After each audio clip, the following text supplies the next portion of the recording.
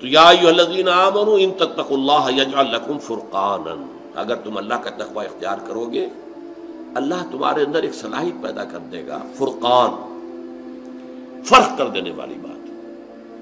ہر مرحلے پر تمہارا اپنا دل تمہیں بتائے گا کہ صحیح راستہ کون سا ہے، غلط کون سا تمہارا دل بتائے گا کہ یہ غلط ہے، یہ صحیح ہے۔ بعض معاملات میں حضور سے جب لوگ سوال کرتے تھے، آپ جواب دیتے تھے، اس تفتے قلبک اپنے دل سے فتوا مانگ لو بھائی۔ تمہارا دل بتا دے گا کہ یہ صحیح ہے یا غلط۔ ہے لیکن یہ کس کا دل؟ جس کے اندر تخوا ہے، جس کے اندر صحیح ایمان، حقیقی ایمان ہے۔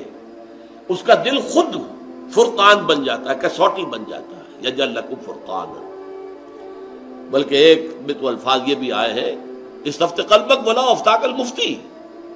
چاہے مفتی تمہیں فتوا دے بھی دے کہ ہاں یہ جائز ہے۔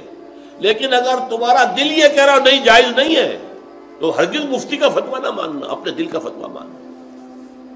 صلاح الدین ایوبی رحمت اللہ علیہ کا بیٹا، یا نور الدین زنگی کا، یہ میں ذرا اس وقت مغالتا ہو رہا ہے۔ شدید بیمار ہو گئے سب طبیبوں نے کہا کہ شراب پینی ہوگی انہیں۔ اسی سے کوئی شفا کی امید ہے۔ ان کے سامنے کہا گیا، یہ تو حرام ہے۔ حنفی فتوی مفتی کا فتوا لا کے رکھ دیا گیا، جان بچانے کے لیے جائز ہے۔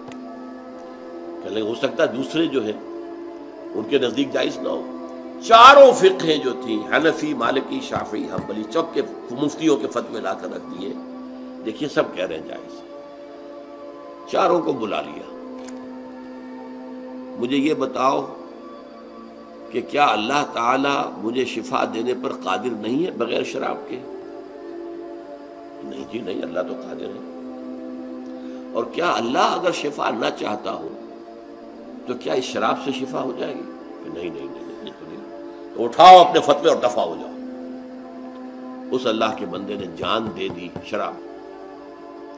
اور یہ بادشاہ کے بیٹے کا، شہزادے کا معاملہ۔ تو یہ جو لکم فرقان اللہ تمہارے دل میں وہ صلاحیت رکھ دے گا۔ وہ یو کب فرنگ تم سے آتے اور اگر کہیں کوئی غلطی ہو بھی گئی تو اللہ تعالیٰ معاف کر دے گا، تمہاری برائیوں کو تم سے دور کر دے گا۔ وہ یکسر لکم اور تمہیں بخش دے گا۔ وہ اللہ الفضل عظیم اور اللہ تعالیٰ بہت بڑے فضل والا ہے۔ دین کی بات پھیلانا صدقہ جاریہ ہے۔ ثواب کی نیت سے ویڈیو کو شیئر ضرور کیجیے جزاک اللہ۔